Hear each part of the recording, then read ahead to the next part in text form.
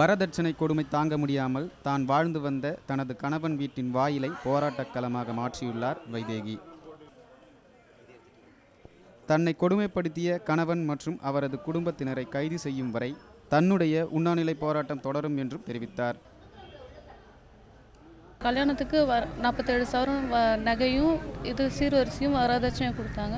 அது பத்தாதுன்னு அவர் கம்ப கல்யாணம் ஆனதுலேருந்தே அவர் கம்பெனி ஆரம்பிக்கணும்னு பதினஞ்சு லட்ச ரூபா கேட்டு என்னை டார்ச்சர் பண்ண ஆரம்பித்தாங்க கொடுமைப்படுத்தி இது பண்ண அந்த கொடுக்க முடியாத பதினஞ்சு ரூபா கொடுக்க முடியாத சூழ்நிலையில் மூணு மாதம் கர்ப்பமாக இருந்தேன்னு கருவை கலைச்சி என்னை வீட்டை விட்டு அடித்து அனுப்பி டைவர்ஸ் நோட்டீஸ் அனுப்பிச்சிட்டாங்க தனியொரு பெண்ணின் போராட்டத்திற்கு அனைத்து மகளிர் அமைப்புகளும் ஒன்று சேர்ந்தது என்பதோடு வைதேகிக்கு நியாயம் கிடைக்க வேண்டும் என்றும் வலியுறுத்துகின்றனர். பாஞ்சு லட்ச ரூபா கொடு டார்ச்சர் பண்ணியிருக்காங்க. இது என் பொண்ணு எங்ககிட்ட சொல்லலை.